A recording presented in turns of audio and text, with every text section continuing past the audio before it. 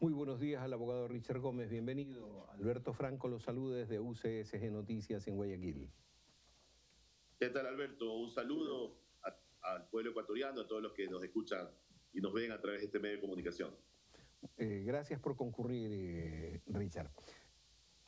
La representación por los trabajadores en el IES, ¿qué significa para usted?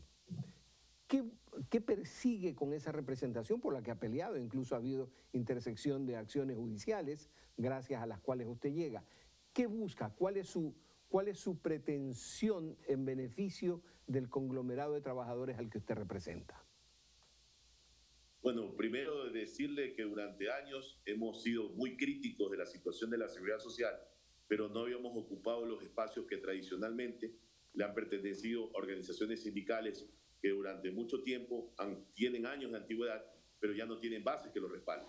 Eh, me refiero al FUD y a otras organizaciones más que durante los últimos 16 años pusieron los vocales al señor Hidrobo, a la señora Paulina Guerrero, al señor Clavijo, que se aferra al cargo, eh, se aferró al cargo durante mucho tiempo, sin ningún tipo de rendición de cuentas y con la debacle en la que está la seguridad social. Y preocupados de nuestra jubilación, preocupados justamente de lo que pasa con la salud y los compañeros del Seguro Campesino, la afectación que ha habido a los compañeros en sus servicios, los servicios que esta institución tan grande del país le presta, decidimos ya no quedarnos en la parte de la retaguardia, en la crítica, sino ser propositivos y asumir en un gran proceso de unidad de ocho organizaciones nacionales el poder asumir este desafío de estar en la vocalía y ya no confiar en una persona X, sino desde la dirigencia gremial, desde la que comprendemos la situación de nuestros compañeros obreros, las necesidades que ellos tienen, poder participar en esta vocalía en las soluciones, en el aporte a las soluciones y en la construcción de una política pública que permita mejorar eh, la eficiencia de los servicios que presta el IES a los asegurados.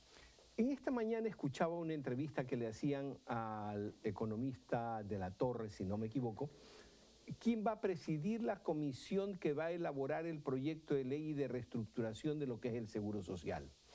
Primera pregunta en torno a eso. ¿Usted va a trabajar de la mano con él? ¿Va a crear situaciones propositivas para lograr una sostenibilidad en el tiempo del seguro social, aunque sea con reformas o con cambios al modelo? Claro, por supuesto. Inclusive fuimos invitados por el presidente de la República en días pasados, durante esta semana. Eh, justo nos presentó esta comisión.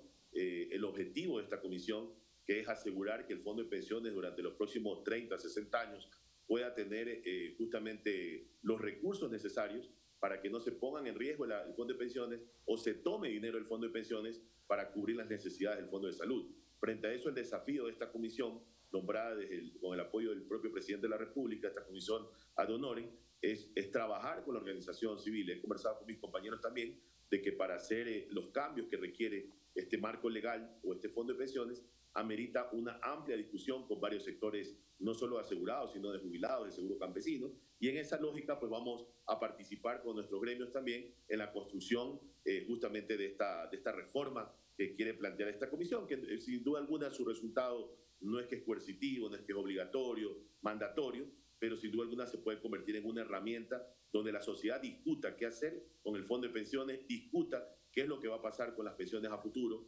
y, establezcamos de manera conjunta, ojalá unánime, eh, una propuesta eh, que cuaje en el Ejecutivo, pero también en la Asamblea Nacional.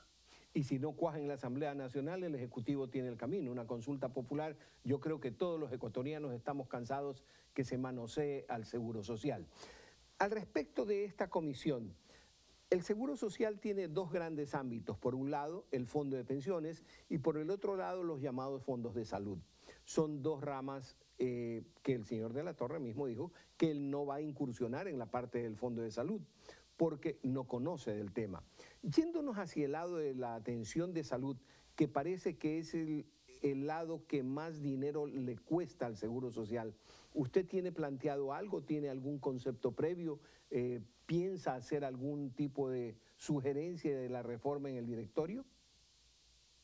Bueno, la situación de la salud realmente es deplorable y sin duda alguna recuerde que los vocales no nombramos gerentes, no podemos participar en, ciertos procesos administrativos, pero hacemos, cumplimos dos tareas que son fundamentales para el IES. Una, la fiscalización y el otro, el poder generar, eh, justamente legislar de alguna manera los reglamentos, las resoluciones que permitan activar el modelo de la seguridad social para poder cambiar este modelo que lo que ha llevado es externalizar todos los servicios, hasta las profilaxis, perjudicando justamente la falta de equipamiento, donde no ha habido la falta de, de recursos humanos operativo, porque se ha inflado en la parte administrativa, pero no en la parte operativa, y todos estos cambios tienen que darse. Ahora, la construcción de una propuesta y de varias propuestas que vamos a presentar, la haremos con el equipo de trabajo, pero sobre todo con una alianza, una vocalía colectiva.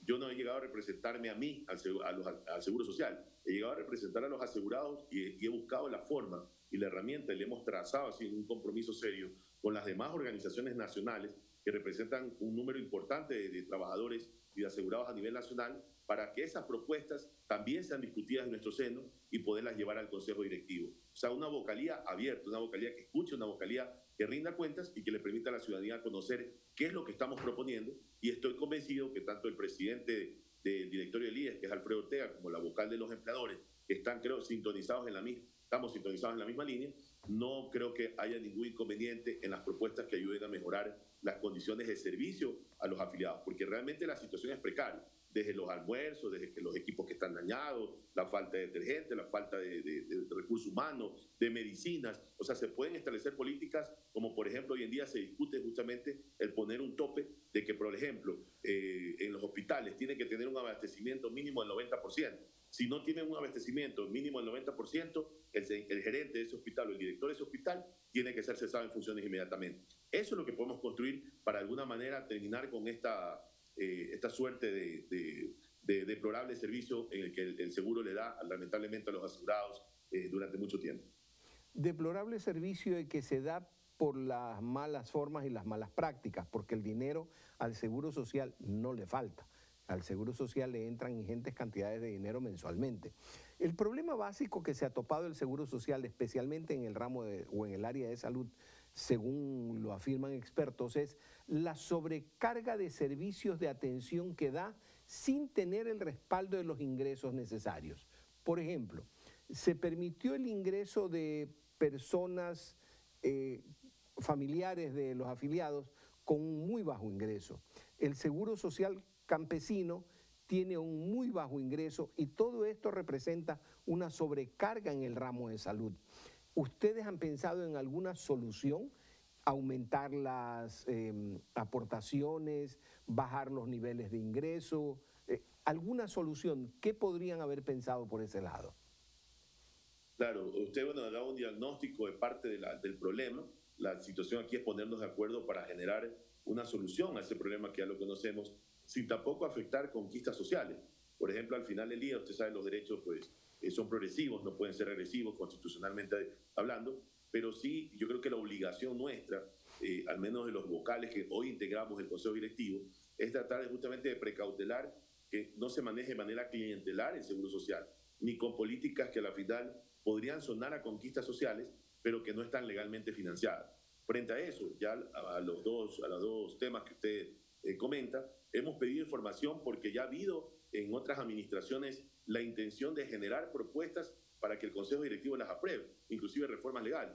Pero todas estas propuestas se van quedando también, lamentablemente, por los cambios constantes de, presidentes de directorio, de autoridades del IE en general. Entonces, por más que el, aparato eh, de gente muy importante que tiene el IES, que ha generado estas propuestas de cambio en torno a, como usted dice, o, que se, le, se les dé una solución al tema de los hijos de los asegurados, que haya un aporte diferenciado, una prima, hay algunas, algunas variables, vamos a estudiar esos proyectos que lamentablemente el señor Clavijo no los entregó eh, porque salió por la puerta trasera del Seguro Social, no quiso dar la cara y entregar cuáles eran los proyectos que él había presentado, pero sabemos que hay propuestas hechas desde la Seguridad Social, desde compañeros que conocen el seguro y que han establecido algunas variables. Esas hay que estudiarlas, pero no solamente estudiarlas nosotros, también de alguna manera eh, que la ciudadanía conozca y participe en un debate de estas ideas y poder transformarlas en una realidad y en una propuesta que tenga sintonía con lo que quiere el pueblo ecuatoriano. Entonces, vamos a tomar las medidas, no, no hemos venido a calentar el puesto como se ha hecho durante los últimos 16 años,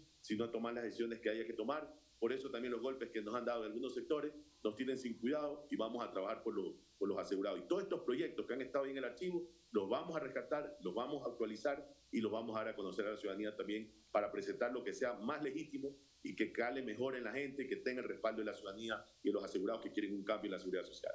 Para terminar, eh, abogado Gómez, Los montos de las jubilaciones en muchos casos no responden a la realidad.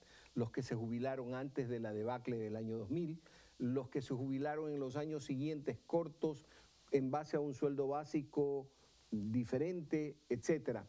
Esas pensiones jubilares realmente constituyen pensiones de miseria. Hay personas de que se afilian a duras penas a los 60 años y el rato en que llegan a los 65, que se eh, pasa a la tercera edad, ya prácticamente adquieren el derecho de jubilarse sin haber cumplido algunos años, por lo menos 15, 20, 30 años de aporte como lo hacen otras personas, lo cual crea discrepancias y discordancias en los montos de pensiones porque se afilan, diga usted, con sueldos muy altos y logran una jubilación que no responde a una realidad. Esa es una parte del problema, lo ejemplificaba únicamente. Las pensiones de jubilación, ¿usted piensa tocar algo en torno a las pensiones, al modo de, de acceder a una pensión, al modo de asegurar una pensión que realmente permita una vida digna a esa persona que realmente aportó y trabajó 30, 35, 40, 50 años?